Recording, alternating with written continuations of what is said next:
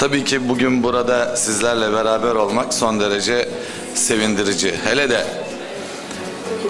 Ahmet Bey kardeşimizin görevi devraldıktan sonra CNR'da fuar alanının 8000 metrekareye ulaşmış olması beraberinde küresel bir entegrasyonu da gerçekleştirerek hem yurt içine hem de yurt dışına hitap eder hale gelerek Türkiye'nin yükselişine paralellik arz eden promosyon sektörünün de yükselişine burada tanıklık etmek ayrıca siyasetçi için bir mutluluk vesilesidir.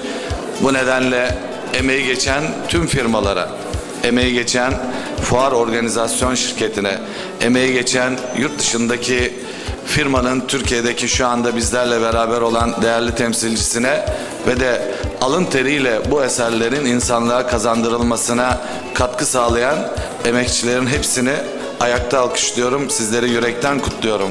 Siz büyüyün, daha da güçlenin. Yeter ki siz çıtanızı yükseltin. Biraz evvel Sayın Başkan ifade etti.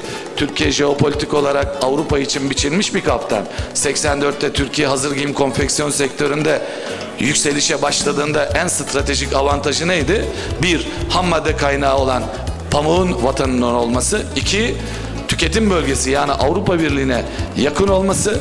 Dolayısıyla lojistik olarak tedarik edilme süresinin uzak doğuyla kıyaslanmayacak bir şekilde bir aya 45 güne 3 hafta hatta şimdi 3 haftaya tedarik edilebilme şansının olduğu bir ülke. Bu bizim için son derece jeopolitik bir üstünlük.